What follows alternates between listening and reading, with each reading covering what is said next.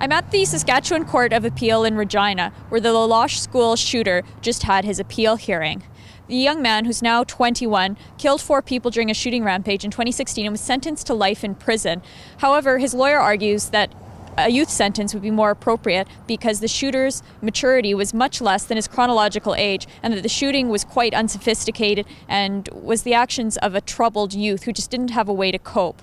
The judges said they weren't able to make a decision today. They've reserved that decision and will be issuing a written decision at a later date. The Crown made the argument at the sentencing, and the judge found as a fact, more importantly, that this was sophisticated, that everything he did leading up to the murders and what he did on that day were not the actions of someone who is immature or vulnerable or those kinds of things. They were all the actions of somebody who was adapting to a change of circumstances as it was coming and who had a plan and he carried out his plan.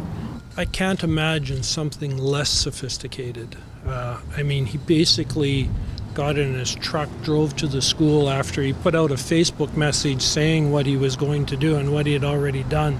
There was no effort to disguise, there was no effort to escape, there was no plan to escape.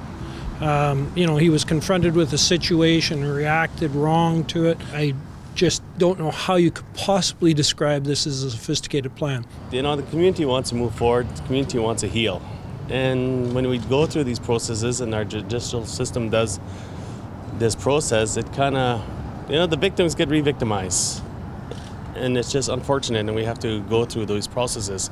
And we have those that have been directly affected, like their victims, that are still living with the consequences of that day right? They still got their medical conditions. We still got the emotional, the mental that we have to continuously relive, you know, and it, it doesn't help.